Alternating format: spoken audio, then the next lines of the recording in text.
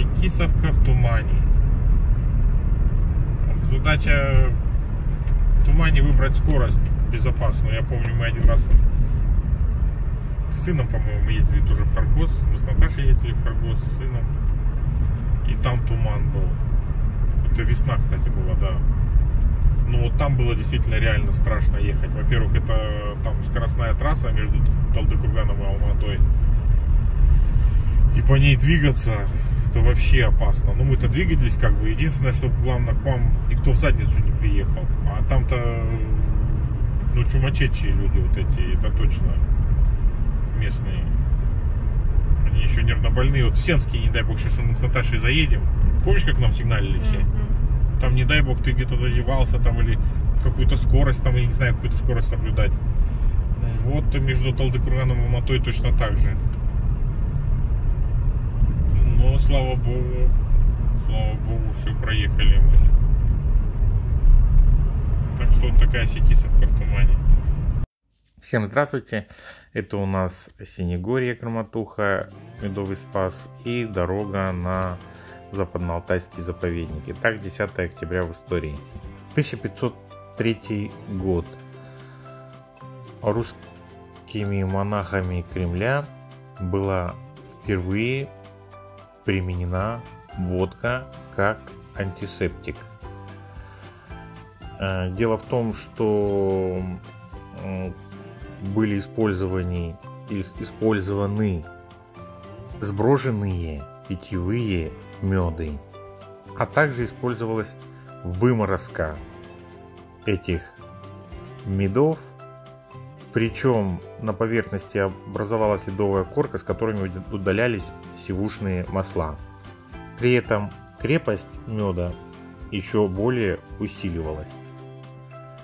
Причем еще использовалось склеивание медов с помощью карлука. Это осетровый клей. Так что один из мифов, связанный с Дмитрием Ивановичем Менделеевым и появлением водки, это его докторская диссертация, которая называлась «О соединении спирта с водой».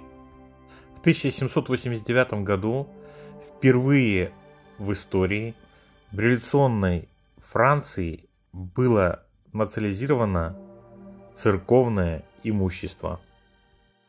Ну и сейчас у всех же на слуху ЧВК «Вагнер». Так вот, в 1853 году, именно 10 октября, состоялась встреча замечательных композиторов Рихарда Вагнера и Ференца Листа.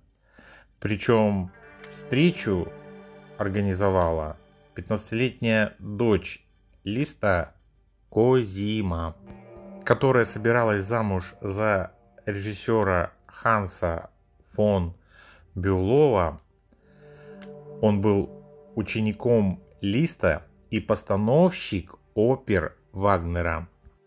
И впоследствии Вагнер станет любовником этой дочери Листа Казимы, а через 17 лет она станет его женой.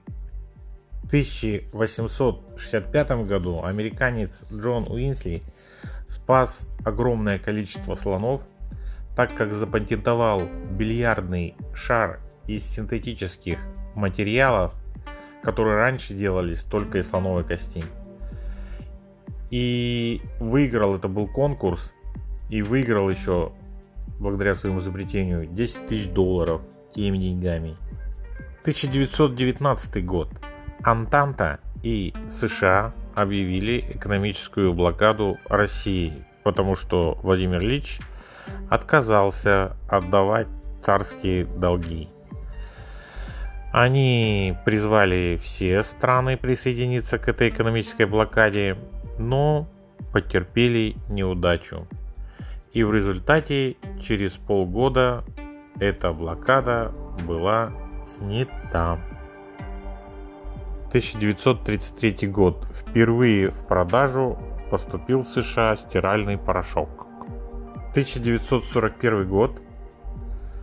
Проводимый референдум по присоединении Люксембурга к фашистской Германии провалился из-за низкой явки избирателей. Вы сейчас можете представить, что какой-то референдум сейчас бы провалился? Так что вот такая действительно была реальная демократия даже при фашистах. 1953 год был выпущен первый замечательный, я считаю, и красивый самый автомобиль ГАЗ-21М «Волга». Это была мечта у нас у родственников, была такая «Волга». И мы еще были детьми, наверное, лет по 6, но это был уже, наверное, 72 год. И было за счастье просто посидеть в автомобиле за рулем. 1957 президент США Эйзенхауэр принес извинения министру финансов Ганы, которого в ресторане города Дувр, штат Делавер, отказались обслуживать в ресторане. И в Соединенных Штатах до ну, практически 80-х годов конкретно была дискриминация по цвету кожи. И я помню, как мы в школе спасали Анджелу Дэвис, которую сейчас никто не знает, Луиса Кравалана, которого тоже сейчас никто не помнит. Ну и, естественно, Нельсона Манделу. В 1963 году вступил замечательный закон о запрещении испытаний ядерного оружия в космическом пространстве под водой и в атмосфере. Ну, сейчас бы замечательно сделали бы вообще запрет вообще и уничтожение всего ядерного оружия.